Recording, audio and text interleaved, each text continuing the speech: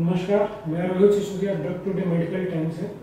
हमारे साथ डॉक्टर रमनपुरी हैं, जो चेयरमैन है लिपिड एसोसिएशन ऑफ़ इंडिया के। हमें बताएँगे कि जो हमारे शरीर में जो लिपिड्स होते हैं एबनॉर्मल लिपिड्स जो होते हैं, उनको कैसे कंट्रोल किया जाए, ताकि हमें भविष्य में हार्ट की बीमारियों से और हार्ट अटैक से बचा जा सके। ये जो हमारी कॉन्फ्रेंस है, ये उसी चीज़ का एक मकसद है, कि इसमें हम डॉक्टर्स के साथ जो भी आज के दिन में लेटेस्ट है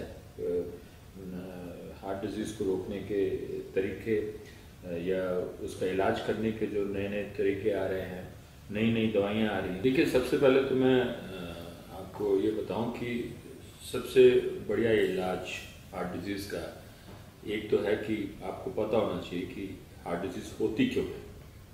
और उसका सबसे जो कारण है, अगर उस कारण को हम बचपन से ही कंट्रोल करें तो आगे जाकर बीमारी नहीं होगी।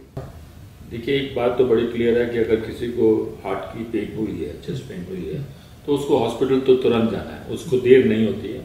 जो भी जितने जल्दी से जल्दी वो जा सकता है उसमें जाना चाहिए।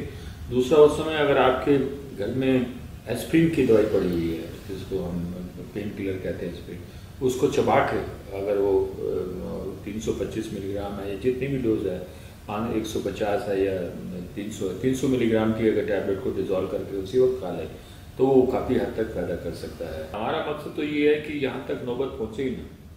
लिपिड एसोसिएशन का मतलब क्या है कि हम पहले ही हार्ट अटैक रोकने की बात कर रहे हैं। और अगर मान लो वैसे, मुश्किल ये है कि 50 परसेंट जो डेथ होती है हार्ट से, वो अचानक होती है। उससे पहले, एक दिन पहले मरीज़ बिल्कुल ठीक होता है, तंदुरुस्त होता है। अगर आप उसको कहें कि तुम ये टेस्ट करा लो, वो कहेगा कि मैं बिल्कुल ठीक हूँ। मैं क्यों कराऊँ? डॉक्टर के पास जाने से अच्छा है कि आप पहले से ही उन सब फैक्टर्स को कंट्रोल करो जो आगे जाके आपको हार्ट अटैक करेगा। तो अगर आपको हार्ट अटैक हो जाता है अनफॉर्चुनेटली अगर आप डॉक्टर को दिखाते हैं तो दूसरा हार्ट अटैक तो होने, होना चाहिए ही नहीं। लेकिन इसमें इशू ये होता है कि जब मरीज़ ठीक होता है तो वो डॉक्टर के पास जाता ही नहीं है, वो दवाई नहीं खाता।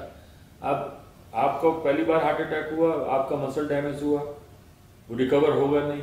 उसके बाद जब आपको दूसरा हार्ट अटैक हुआ अनफॉर्चुनेटली कि रीजन कोई भी हो तो उसमें फर्दर हार्ट अटैक डैमेज हुआ।